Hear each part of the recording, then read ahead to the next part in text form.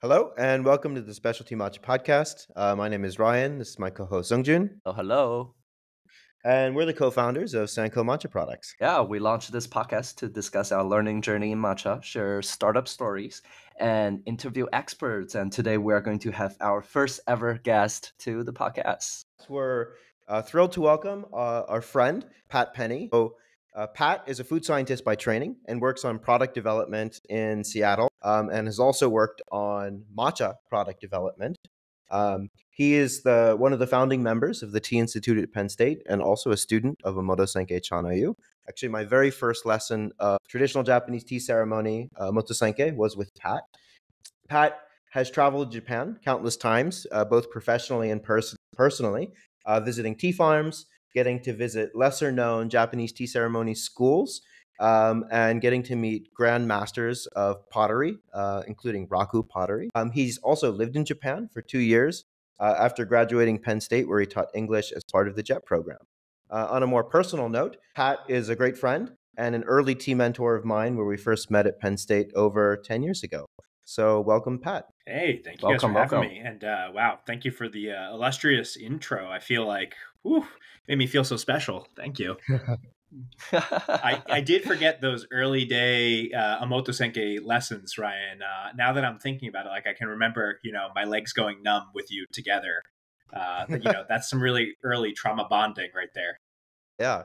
I don't know who decided the schedule, but for some reason, those lessons were always like at 9 a.m. on Saturday and Sunday mornings, um, which made it extra special. Yeah, especially as like a college student, right? Like we we all, you know, went to bed at 8 a.m. on Friday night to really get ready for that 9 a.m. Chanoyu lesson. Uh, I, I think that was just the absolute worst setup ever. Yeah.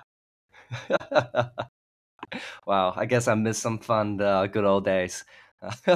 You you missed some serious suffering, but you know, we we, we had nice bowls of matcha. We learned.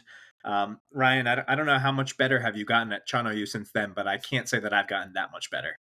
No, no, definitely uh, very much a novice. yeah you know i've drank many bowls of matcha since which i'm sure we're going to talk about but uh yeah it's it's really interesting I, I think personally like as a tea person i've always been interested in the connoisseurship of the product and even though i really respect you know a lot of the the culture surrounding tea ceremony uh, you know, on the japanese side as well as the chinese side it's it's uh, been one of those things that's always been really difficult for me to get into every now and then i get a little bit of a bug like let me try and get back into japanese tea ceremony and uh, I'll stick my toes back in the water for a little while, and I still still have trouble sticking with it even after all these years. But maybe one day. I, I, I feel the same way. I get intermittent uh, spouts of motivation uh, to want to continue my lessons, but you know, it's a big commitment. But for the listeners, my cats are now uh, trying to join the podcast. Welcome to the party. um, future guests. They they are tea experts. I will say that they they've sat with me for many tea sessions. Yeah. uh, so, Pat, uh, could you tell us a little bit about your tea journey and sort of origin story about uh, your experiences in tea and in matcha and um, like matcha is a specialty product as well?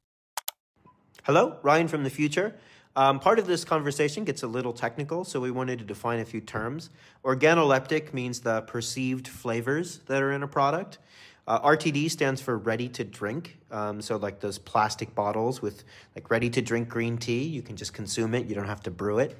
Uh, gongfu or gongfu cha is also referenced, uh, which is traditional Chinese tea ceremony. Um, and Omote Senke, which is one of the primary schools of Japanese tea ceremony. Yeah, most definitely. So I think kind of my forays into tea uh, were really as a as a child. So my grandma, uh, you know, lived in Manhattan for all my life, and um, I would go, you know, visit my grandma in Manhattan on the weekends, and uh, you know, she was a, a very cultured person. She had traveled a lot. Uh, she had been to China multiple times, and uh, so I really got exposed to tea through her. Um, we would go into Chinatown to go, you know, eat at some good dim rum, some restaurants uh, or explore some shops. And uh, I remember going to a lot of shops and seeing like the really large tins uh, of tea with you know various writing that I could not read at the time. Um, proud that now I could definitely read it if it's a tea name. I, I feel pretty confident about that. But um, you know, I'd see those tins of tea. I'd see all the teaware. Uh, and I was just fascinated by it. Um, I really don't know what exactly drew me in, but I think I just saw all of it, and um, you know, I got to drink not gongfu, but I got to try teas at um, you know, some of these kind of medicine and tea specialty shops in Chinatown, and uh, it just got me really interested in it, in the flavor. And so um, I remember being in like sixth and seventh grade and um, buying tea in Chinatown and buying like a pretty crappy ceramic teapot and bringing it home and like just brewing up really probably terrible tea, like just probably throwing boiling water over like low grade jasmine tea and just loving it though, just drinking it to death. Uh, and uh, I probably didn't learn too much about tea after that for a while. I just continued to enjoy it as a beverage. Uh, but then I think like, you know, definitely like you, Ryan and Zongjun, maybe not so sure about you since you obviously have a very different background. But uh, when I got to Penn State was when I really learned, you know, that next deeper step into what tea could be. So um, always loved it as a beverage, but never really learned more about it until I found, you know, a group of people who were like minded and wanted to learn more. And um, from there, I mean, Ryan, you know a lot of, I think, my tea story, but for the uh, audience, uh, you know, I had helped to develop the Tea Institute at Penn State. So when I joined, uh, it was just a Chinese tea ceremony club. Um, but then uh, I was one of the first members of the Tea Institute and helped to um, turn the institute into what it was. So I was one of the first researching members who was doing some research through our food science uh, and agricultural college at Penn State.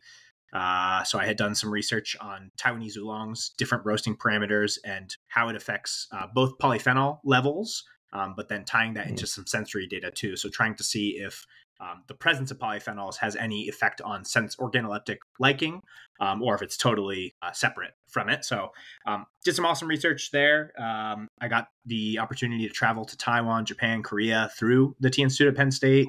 Um, you know, meet many of the same tea mentors that you, uh, Ryan and Zongjun, got to study with.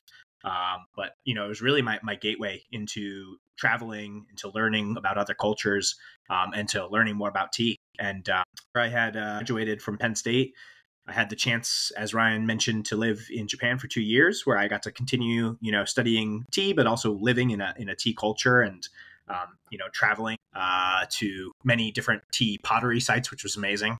Um, and then coming back from Japan, uh, I, I started to work in product development, which is where I got to kind of develop a different appreciation and lens for commodity tea products um, and learn things that mm. were quite outside the realm of what I had learned in the specialty tea, you know, as, a hobby, but also as an industry. So I feel like I've had a really good chance, you know, in the last 10 years, because wow, holy crap, I graduated 10 years ago.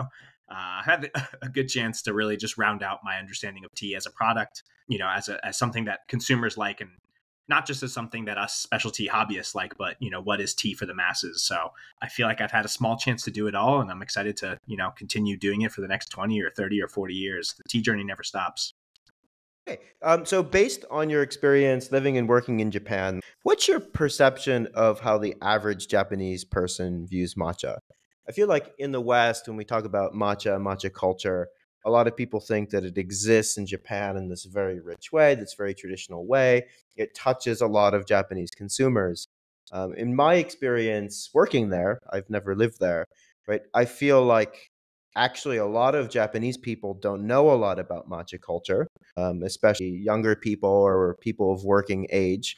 Um, and when you start asking them about matcha, they're like, yeah, yeah, it's very traditional. I don't really know anything about it. And it's kind of put on this pedestal, and you either know something about it or, you know, it's not as approachable even within Japanese culture.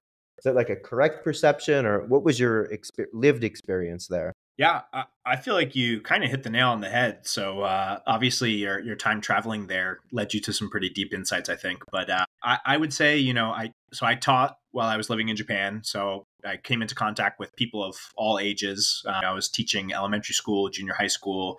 Uh, the people who I was working with were between my age and uh, probably in their 60s and 70s. So um, I think I had a good chance to talk to lots of different people of different backgrounds. And um, I would always talk about tea because that's what I'm passionate about. And so at some point it would come up. Um, and usually, you know, when I'm doing school lessons or if I'm meeting people for the first time and I'm the token foreigner, um, you give a, you know, self introduction. And I would always say, like, you know, my hobby is tea. And so, you know, polite Japanese conversation, if someone has a awkward silent moment with me at some point, they'd ask me, you know, how did you get into tea or why do you like tea, this or that. Um, and of course, I, I, try and turn it into a conversation. Um, and so I would ask them, you know, do you like tea? What do you know anything about tea? Uh, do you study tea? Um, and invariably, the answer was like, "Oh, I, I like you know matcha lattes, or I enjoy matcha soft serve ice cream." Um, but very rarely did I run into people who actually study tea in any way, shape, or form. And I think uh, the parallel I kind of drew was that actually is very similar to the West, right? In the U.S., where um, you know, I think Ryan, you might have said this before in a different podcast, but once you know, you know, a little bit about tea, you know more than 90% or 95% of the population and that that felt like it held true in Japan. So, I don't think the average Japanese consumer really knows how matcha is made, how it's cultivated, what makes it different than any other green tea besides maybe the format. So I, I never really got the inkling that people were particularly interested in it. I think it was just um, it, it was certainly put on a pedestal as something that was traditional and important because it was traditional, and in many ways important because it was Japanese and we were in Japan, uh, and so there's there's a level of national pride, uh, you know, to the product. Um, but you know, when when I did meet tea people, um, you know, I think they knew a lot about their own products and they knew a lot about matcha. But the average layman, um, I don't think knows any more about matcha than your average person in America knows about black tea. Uh, that was my perception. So it was really no one's like morning cup of coffee, like equivalent to what we have in the West. Like maybe for some people, but no, uh, no. When um I would go into school, you know, in the morning, um, everyone would have some kind of uh like fukamushi sencha or sencha of some sort on their desk. Um, and usually there was a person who was a tea lady, didn't need to be actually a, a lady, uh, but often it was a, a, administrative assistant who made tea for everyone in the morning in a giant pot. Um, it was some kind of dirt cheap Shizuoka, you know, real uh, value uh, tea. Um, it gave me a headache, and so I didn't drink it. But um, I, and which often led to questions of like, oh, I thought you liked tea, but you know, ev- everyone did seem to drink tea in the morning. Um, but I think it was very much similar to the way that you know um, in the 90s and 2000s, everyone drank Folgers coffee in the morning. I, I, don't think it was a beverage that they think about, and certainly matcha isn't what showed up. But green tea would show up in the morning, and people would drink it, but it was just another hot beverage, and maybe it gave them a little energy. But I don't think they thought much beyond that. You know, it's really similar to uh, what the status of Chinese tea in China is uh, as well. You know, like it's it's there's some sort of uh, national pride, some sort of uh, cultural recognition, but it's just so ubiquitous that uh, you know it's almost just like you know water for people uh, on a daily basis. Uh, you drink it for dinner, you drink it for breakfast, you drink it for you know any kind of situation. That uh, people just do not find such a um, like like a personal interest into into this kind of things on a daily basis. Yeah, I feel like um, the average consumer beyond a matcha latte maybe comes into matcha only through RTD products or dessert products. Um, I don't feel like even a, a, lot of Japanese, from what I've seen and experienced at least, um, really drink a lot of straight matcha. Like if you're not practicing tea ceremony, you're probably not sitting down to a bowl of usucha. You certainly have probably never experienced koicha, mm. but you know your your experience of matcha is probably like, oh, this is the RTD, you know, product that I get out of the vending machine or from the 7-Eleven, and that's my experience of matcha. Pat, uh, I have a question actually. Uh, like, do people have some kind of um, uh, association with like some uh, like age or a cultural identity to someone that consumes matcha in Japan that is Japanese, like for you know other people? Because like in china like if you say you like drink tea every day and you you do lao ren cha like the very term of lao ren cha means elders tea like Old there's people. a very mm-hmm. yeah very very uh age label uh towards uh that kind of a practice yeah that, that's a, a really good question i i wouldn't say that i noticed for uh you know tea enthusiasts a really specific group of people whether that be age gender or any anything of the sort um, I do think when you talk about uh, tea and you're living in Japan and you're a foreigner, most people do find some other foreigner to reference that's involved in tea. So, like when I was living in Japan, there's a few other Westerners, not usually Americans, but some Europeans um, who were famous for writing some tea books in both English and Japanese. Um, and you can find these books. I'm, I'm not going to promote them on your podcast or talk about them, but uh, you know they're bilingual Japanese and English tea books. And so anytime I would mention like, oh, I like tea, and someone knew a little bit about tea, a Japanese person, they would often point me to this other foreigner who writes about tea. Um, so that that was the only experience I really had of someone associating tea with a specific group of people. They're like, "You're white. Here's another white guy who wrote about tea. Uh, let's talk about him." so that that was my experience. Maybe you guys can become friends. yeah, you know, I mean, I, it was definitely all uh, all done with the best of intentions, but yeah, it was it was pretty funny. So, uh, Pat, one of the things we've been talking about on the podcast is like, what is matcha? Um, from a consumer perception definition, from a legal definition, from an industry definition. So, how would how would you best answer the question of how do you even classify and define what makes matcha matcha? Such a good question because I, I think you know we are uh, industry people, and so we have a certain perception of what we think matcha is. But if I were to take a step back and just try and put myself in the feet of the consumers, I think they just think of it as maybe Japanese. I'm not even sure that all consumers think of it as Japanese, but um, green tea that's in powder form. I don't think that the average consumer knows anything about shaded cultivation. I don't think they know anything mm. about deveining. I don't think they know anything about uh, the milling process or what kind of mill, right? Like an ishiusu or whatever is used. And in fact, I think most consumers' perception, at least in the West, is detached from tea ceremony. So they don't even think about, you know, taking a chasen and a, a bowl. Um, they just kind of see it as another product that can end up in a, a milky beverage or a sweet. When I personally think of matcha, my my kind of definition of it, and one of the working definitions in the industry, but certainly not the only one, um, is you know a a shade cultivated green tea from Japan um, that is milled by a stone mill, at least for the higher quality product. Um, and often you do see some uh, micron number associated with it when you're in kind of the, uh, I think, more R and D or quality uh, side of of you know tea. And so often you'll see numbers thrown out like, uh, you know, below 10 micron. Um, I've certainly had many amazing matcha products that are above 10 micron, but I have seen that number thrown out. I think it's a little arbitrary, um, hmm. but you you will get as fine as that in some people's definition of what matcha can be. I'd be interested in, in what your guys' thoughts are on how, how you define matcha um, as people who are kind of trying to work on what the next evolution of matcha milling could be. Yeah. Uh, yeah, it's a whole can of worms because you have consumer perception, which is very different than industry. And then you have the questionable legal definitions, which there aren't really any. I think there's some rules in Japan um, around what can be labeled and sold as matcha, but uh, it you know it's really a mess of a system um, where you have all of these overlappings that overlap a little bit, but not completely. I think the word matcha um, to most educated consumers' mind should be a product that is Japanese. Even though a lot of consumers perceive any powdered green tea, you know, they would call matcha. I don't know if we called Chinese origin matcha mocha, which is the Chinese word for it.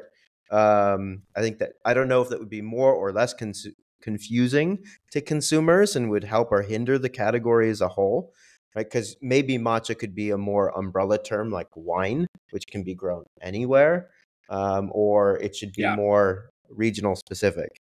Yeah, I don't know. Yeah. It's hard to say. it, it is super confusing. Yeah, it, it is because, uh, like you were saying, you know, you have mocha, right, for Chinese ground tea of any sort. Um, you know, from Korea, Korea does have a, a tea practice. There is a whisking portion to their tea practice, although not the predominant form that you'll see. And they have malcha, right, which is the Korean equivalent of of matcha. Um, mm and certainly i think if you threw those names out there it would probably be so confusing for western consumers like just thinking about americans if they saw three similar products in the market with those three different names and they kind of all start with an m and all end with an a but i bet you you'd have so many people who are like what is the difference between this um, I, I the other day just saw uh, on a website i won't i won't call out who they were but something labeled as black matcha and it, it turns out it's hojicha uh, powdered hojicha um, oh. And I just thought to myself, like, you know, I, I could see where that might be an easy step for consumers mentally to go, like, oh, I know matcha and I know it's green and this is roasted, but it's kind of like matcha.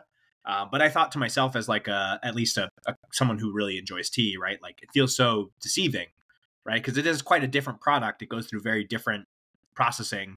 It has a very different end flavor, but the format is the same. And so you have to ask yourself, like, is it more helpful to consumers or more harmful to consumers to try and uh, tie these kind of products together. So it, it is really interesting when you do have this uh, lack of legal definition, um, what what it ends up coming onto the market, right? Yeah, but Yeah. I think you know, like by the end of the day, the the, the very word matcha is a Japanese term. Like it's a it's from the Japanese language.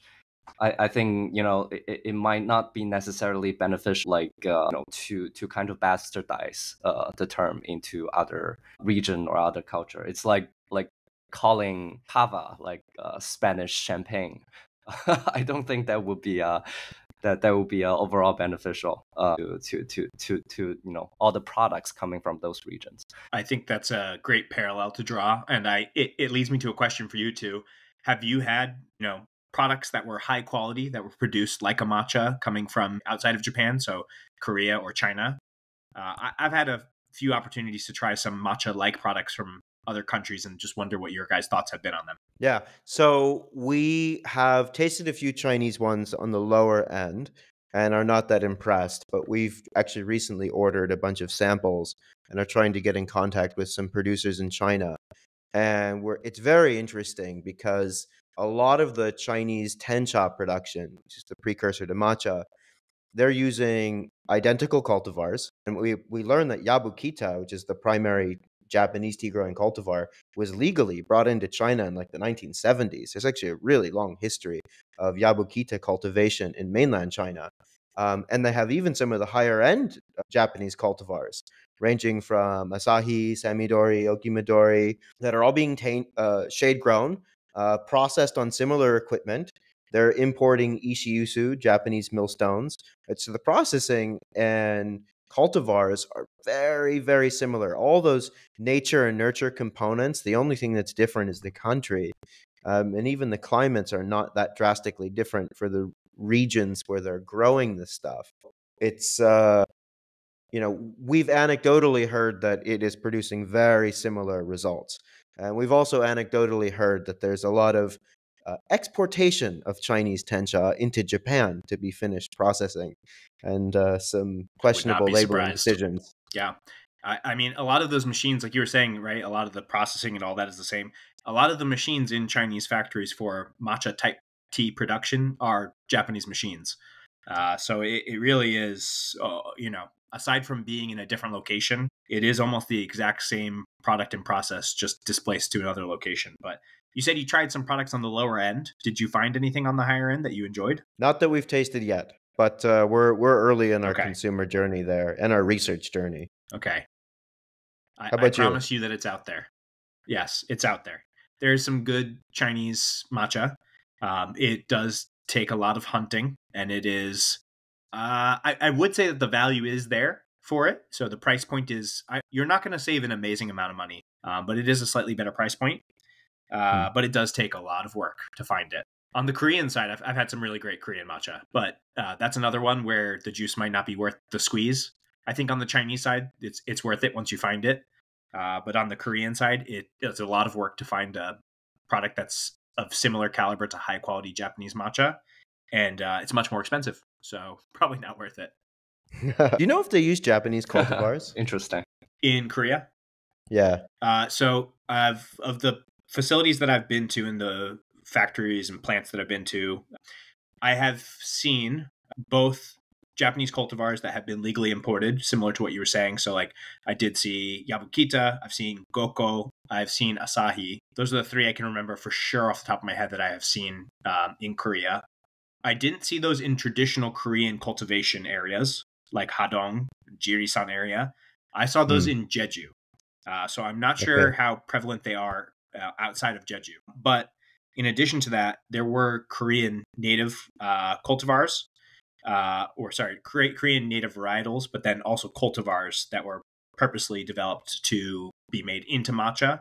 Um, but then other fascinating cultivars as well in Korea that are made for like specifically skincare products and things like that. So um, the Korean tea industry is very advanced and very interesting, um, albeit extremely small. Interesting. Interesting. It it might be cool to see in the future, like in China, people would uh, repurpose some of the uh, Chinese green tea cultivar into uh, you know grow, uh, making matcha. Yeah, I mean, for sure in in China, I'm sure there's already uh, tea that's being repurposed for lots of other things like you know food and uh, beauty products and all that. So I think uh, one day you'll certainly, if if the way the industry moves is closer and closer towards single cultivar, which is what it seemed to be doing for the high quality, you know, connoisseur market, um, I would not be surprised if one day, you know, China wants to have a Chinese matcha, right, that speaks to their own terroir, their own cultivars. Um, so I, I think you'll see it one day, or it might be a bit of a revivalist, um, you know, production where they try and find some old varietal that was used for mocha, right, in the Song Dynasty. Yeah. Try to recreate that or something. I wouldn't be surprised if there was a lot of marketing around it like Yeah, because right now, like if you are using Japanese uh, cultivar, Japanese equipment, Japanese processing method and growing method, uh, you know, it's it's really matcha. It's not mocha. it's matcha growing in China, basically, and be made in China. Yeah, just different export tariffs. That's about it. So, Pat, you've been into matcha as a consumer for much longer than I have, probably by like three or four years. Um, so, going back into the really early 2010s, maybe even earlier. How have you seen that evolve? Like, you're you've been in and out of New York City all that time. Like, how have you seen, like, we in very recent years, seen the rise of single origin, single cultivar, single estate matcha? Feels like a very new phenomenon. Like, how is that uh, Yeah. transformation ha- happen by your perception? Yeah. Uh, so I, I think you pretty hit it hit it pretty accurately. Um, I really only got exposed to matcha uh, through Japanese tea ceremony, and that started at the Tea Institute. Um, so I, I never heard of matcha or had it before 2010, actually. Um, so I only got a little head start on you, Ryan. But I, I will say, you know, over the last 14 years, um, between being in you know the northeastern United States, uh, living in Japan, and then kind of coming back, um, it was interesting to see how prevalent matcha was and how much it grew. I think in the time that I was gone and came back to the U.S. So I certainly, as a tea consumer, noticed when I went to cafes, you know, prior to moving to Japan. Uh, when I was in the U.S., like in Pennsylvania and New York, um, I would notice when matcha was on the menu and if there was actually something unique or special going on with the matcha. Like if I saw in the front of the store in a lobby for a cafe that they were selling right? Individual tins of a single cultivar matcha. Um, that was something that i'd like definitely notice and it was relatively rare. And then you know living in japan and coming back to the us i felt like in that two year period it felt like matcha had a certainly had a boom. Um, and i felt like every good cafe i went to you know had a source of single origin matcha. Um, it wasn't just kind of one of the large Japanese companies that we're all kind of familiar with, but it was some something special or something kind of um, small.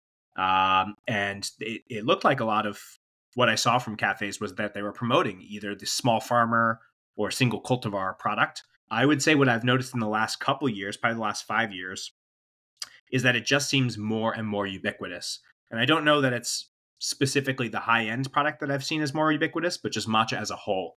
So I definitely feel like I saw that that third wave moment where you really Hmm. started to see the high end matcha products pop up. But then I feel like it almost felt like it got drowned out by just a massive wave of matcha. And everywhere you go now, I don't I don't care if it's you know a mom and pop shop or a large chain. I feel like you can find multiple variations of some kind of matcha beverage. It's the same matcha product, right? But multiple variations of matcha beverages on every cafe menu and in every supermarket. Um, so it's it's just become so much more massively popular.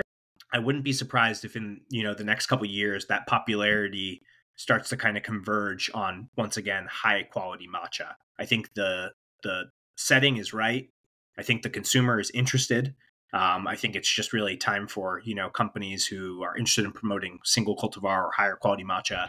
Um, it's time for them to find their angle, right, and to to get it out onto the market. Makes sense. And a large, a lot of that's being driven by um, forces at the farm level and the sort of the middleman layer of tencha and matcha uh, of these like blending houses, right? Like it used to be that a lot of this tencha just didn't get finished as single cultivar products and then just got moved into some blend. But like now, is it just that farmers have more and more power because like these Western markets want single origin, single cultivar products, and they're finishing more and more of their products that way, and it's removing power from those big intermediary blending houses, which buy a bunch of tencha from a bunch of farms and use it to create products. Like, how is that trickling down at the farm level? And how is the supply chain adapting to this new demand as you see it? Yeah. Yeah. I, I think from at least the experience that I've had, it's really on a farmer to farmer basis. Um, I think you have some farmers who, you know, find their avenue or access into the Western market. You know, these these are farmers who are very passionate about their product, right? Um, they have something special, and so you know they're they are sought out for this reason. Uh, but I think you you have farmers who have seen that through you know providing their product direct to consumer. Um, not only do they foster you know greater communication with you know who it is that's going to ultimately consume their product, um, but I think they have more control right over their product, and they can kind of bring into the world the, the product that they want their matcha to be, right? That they want their tencha to become. Whereas, you know, I, I think the the large blending houses and the large finishing houses, they have a purpose and they still exist and they're still putting out a ton of product. Um, you know, there's always going to be a market for them, whether it's RTD product or whether it's like culinary grade product. But I think just the the internet, right, and access, direct access to consumers, has really just opened up a whole new world for specialty matcha. And I think we're just seeing year over year more and more people putting their hat into the ring, more farmers seeing as a viable option. And and it's great because in Japan, I think over the last about 10 years, particularly for tea farming, um, a lot of farmers have not really known what their succession plan is going to be. Um, so a lot mm. of them, you know, were producing tencha, selling to um, some kind of intermediary, whether it was a holding company or directly to um, a blending house. Uh, and they thought they were going to just kind of keep doing that. And one day, whether they have an heir or they don't, no one was probably going to take over their farm. Um, and you know, they they were, from what I understand, farmers. You know, it's a it's a difficult living. Um, they're not making tons of money as tencha farmers, uh, but through having direct access to consumers, the the not farming industry, but being a, a producer of tencha or matcha uh, is a little more attractive to younger farmers um, because they see this route of e-commerce, uh, and I think that that has started to revive the industry a little bit um, because they can see like younger um, producers can see an avenue for them um, to kind of develop their life and develop their product beyond what their successors have done. Yeah, that makes sense. It's really interesting. You're starting to see all these tencha farmers, uh, even on Instagram. I um, was doing a bunch of research a year ago, and um, one of the major farmers, Suji-san, uh, I think, who I believe is the most awarded uh, tea producer in Japan. Um, I took a screenshot of his account yep. when I um, was really first researching this stuff, and I think he had five thousand followers last year. Uh, and I checked yesterday, his ten thousand. Right. So, like, what happens when yeah, you have doubled? Yeah, doubled. Like you have this whole ecosystem of these rock star um, tencha producers that have direct access to these consumers. Like, what does that mean for matcha brands? What does that mean for these large middleman companies? It, will be interesting to see how that plays out. Yeah, and I mean, his products are pretty readily available uh, through the West, you know, via vendors like Oika and some others. So, um, yeah, it's it's it's pretty amazing how the internet, right, can kind of democratize people who are at the top of their game. You know, you can become a rock star in whatever industry you're in as long as you have a good Instagram. yeah, that's so true. You know, you kind of see a uh, vertical integration of uh, producers and uh, manufacturers and also farms uh, in some of the other industry that uh, have went through similar kind of a specialty movement wave. Like um, for example, in China, like uh, for the wine industry and the um, the coffee industry, you start seeing a lot of young people, uh, you know, not only just trying to build a new brand, but also really trying to uh, cultivate their own farm, like uh, really understand how their product is being made uh, from end to end and uh, that actually brought a lot of uh, new generation into like what used to be very tedious job that no one wants to do like harvesting uh, coffee cherries or harvesting grapes growing grapes. Um, that's uh, all very interesting. Yeah. Now if only tiktok was or sorry instagram was half as good as tiktok as an e-commerce program or platform these these japanese farmers would be totally set. Yeah What's that song? Uh, like radio killed or movies killed yes, the radio, radio star. killed the radio star. Yeah, video, video killed, killed, the radio, radio star. star. feel like that rings true here. Um, so Pat, you're you have a food science background. You know a ton about uh, you know food freshness, chemistry, biology, all of these different food processes. You know, one of the things that we're working on is the ability to mill matcha fresh. How would you put that in importance to milling coffee fresh?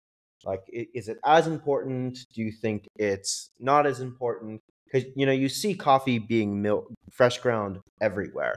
Like, even if you go to a random like cafeteria in a hospital, they'll have a coffee grinder that's you know grinding coffee fresh. And it just doesn't. It seems like an infrastructure problem in matcha. But from a food science perspective, how, how important do you see that problem? Yeah, I, I think it's super critical. So anything you can do to bring that last processing step, you know, like so grinding in coffee, but milling in matcha, anything you can do to bring that closer to the actual phase when you incorporate the product, whisking or brewing, that that's going to make the product, you know, fresher and the organoleptic experience better. Um, you know, matcha is such a delicate product, extremely delicate. Um, you're talking about something that is so fine, right, in micron. Um, you know, for most most matcha powder, you've got some kind of particle size distribution between, you know, let's say three to four micron up to about 20 25 micron depending on the product you you're going to have that particle oxidize so quickly um, you know once it's been milled uh, so anything you can do to reduce the amount of time that it's sitting in a milled state before it's being prepared and consumed um, is going to make sure that you get the the best tasting, the most aromatic, and the freshest feeling uh, flavor experience. Um, you know, matcha not not just through oxidation, but you know through temperature uh, and and many other factors is going to degrade into a product that I think we're we're all pretty familiar with. Like we've all had like old matcha, um, and I think you know the anything you can do that's going to reduce its exposure to high temperatures, reduce its exposure to moisture, reduce its exposure to oxygen um, is going to give you, a, as a consumer, a better experience. Um, and I think it, you know, it has nothing to do with like tea ceremony. It's just as a person who enjoys good tasting products, the fresher your matcha is milled, the more you are going to enjoy the taste of that product. I think thinking about some of the ceremonial aspects, and I'm not talking about Chanoyu like tea ceremony, but thinking about like when you're at home and you take your coffee and you grind it, right? That kind of sets you in the mood to uh, enjoy your coffee. And so for me, like I'll, I'll grind my coffee at home. I do a pour over.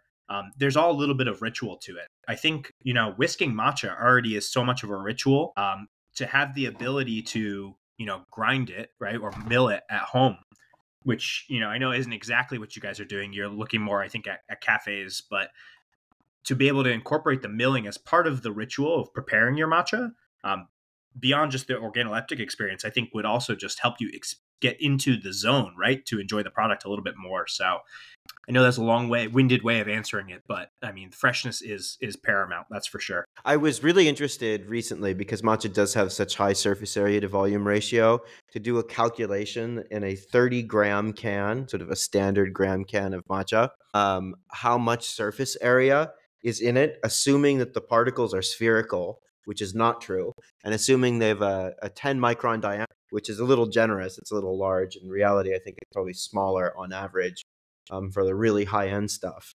Um, if my calculation is correct, it's approximately 200 square meters of surface area. So like about 2,000 square feet. It's um, it's insane. It's insane. Yeah, it's insane is what it is. But it it's definitely true. I mean, you think about it after the product has been milled at whatever location, you know, somewhere probably in Japan.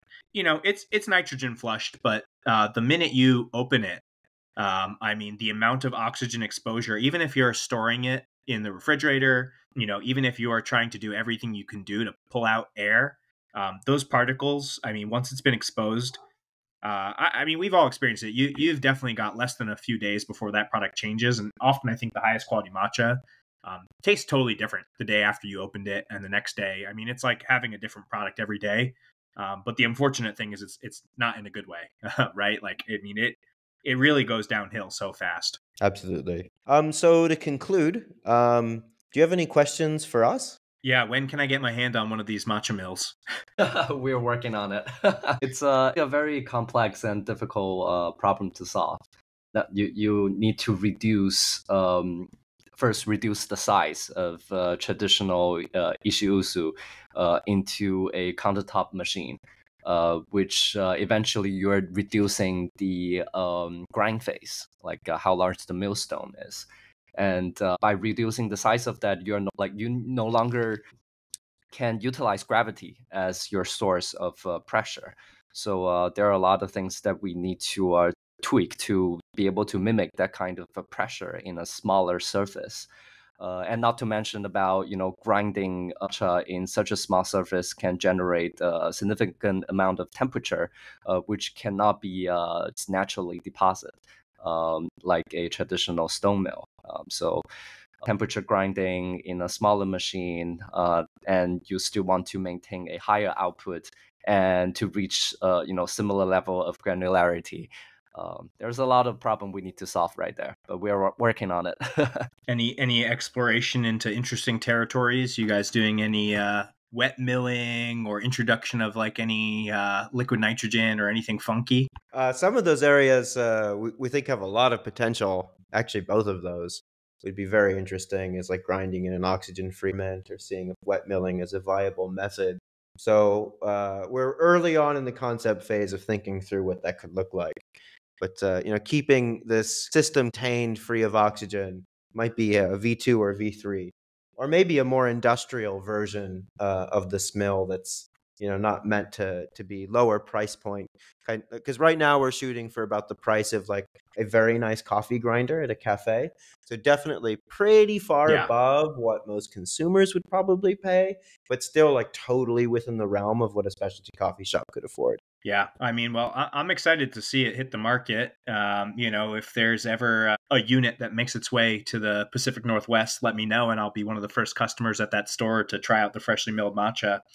Uh, I, I am interested if you guys are going to continue to explore once you kind of find a viable specialty cafe option, um, going smaller and smaller. Would you ever want to get to the level where a home enthusiast would be able to, uh, you know, purchase it and get a similar quality as to what you could get at the maybe cafe scale. Absolutely. Okay, yeah, easy enough. Sounds like uh, you guys are working on it. So it, that that'll come right after the cafe scale one, right? Just a couple weeks later.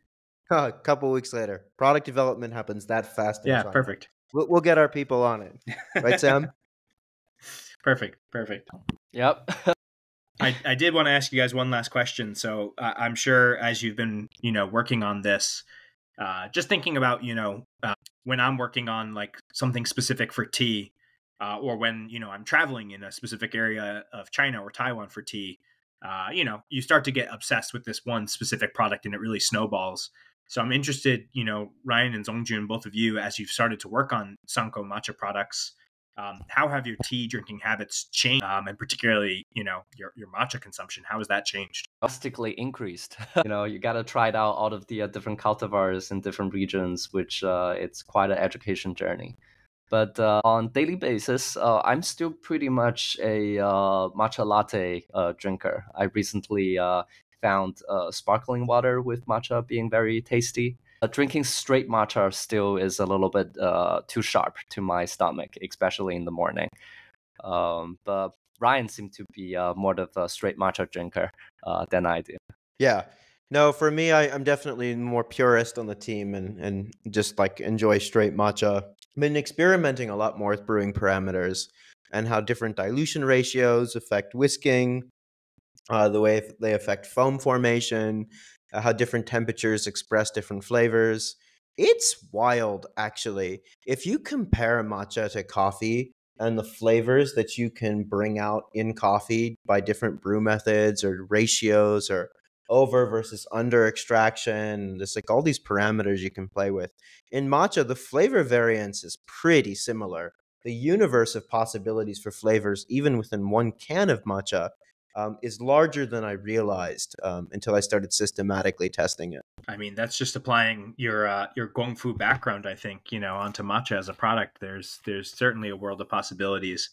Um, you know, Ryan, I think it's not surprising that you have jumped off into the deep end on matcha because I think even in the early days of the uh, Tea Institute, when you were, you know, first joining and studying Chinese tea ceremony, I feel like you were always really into matcha. Like anytime we had fresh matcha around, without a doubt, I would walk in to the tea house and you would just be guzzling down like a fresh bowl of matcha. So, um, in some ways, none of this is surprising to me. It's kind of like you've just come full circle on your tea journey. Very true. Should we wrap up? Let's go. All right. So, thanks for listening. I think that's all we have time for today. So, if you like this episode, please give us five stars or consider sharing this with a friend. Um, and thank you so much, Pat, for joining. Uh, it was great having you on. And uh, be on the lookout for new content. Woot! Recording stopped.